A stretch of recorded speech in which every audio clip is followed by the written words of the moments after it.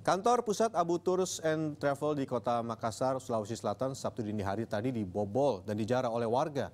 Sebelumnya para jemaah Abu Tours dibuat kecewa karena penundaan pembacaan tuntutan akibat berkas yang belum lengkap.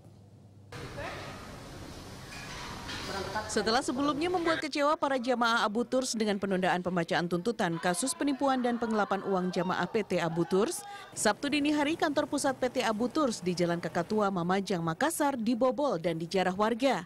Aparat kepolisian gabungan Resmo Polda Sulsel dan Jatan Ras Polrestabes Makassar yang tiba di lokasi langsung melakukan penyelidikan dan memeriksa sejumlah saksi.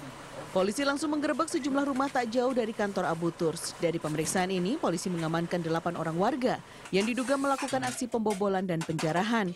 Empat orang yang diamankan di antaranya wanita. Aparat kepolisian juga menyita sejumlah barang elektronik dan kebutuhan sehari-hari hasil jarahan berupa kulkas, komputer, rak piring, dan beberapa box plastik dan kabel-kabel tembaga. Lantai dari, dari lantai dua? Dua orang kok? Eh, dua orang sama Astro. Sama Astrul? Oh, nu pisang ya? Mau angkat ya? Mau angkat ya? Oh, mau angkat. Apa lagi nu ambil selain itu lagi? Pak, itu. Aja? Iya. Belum diketahui motif pembobolan disertai penjarahan ini. Sidang pembacaan tuntutan Hamzah Mamba, bos perusahaan tur dan travel haji umroh, yang diduga melakukan penipuan senilai 1,6 triliun rupiah ini sebelumnya dibatalkan dua kali karena tuntutan yang belum lengkap.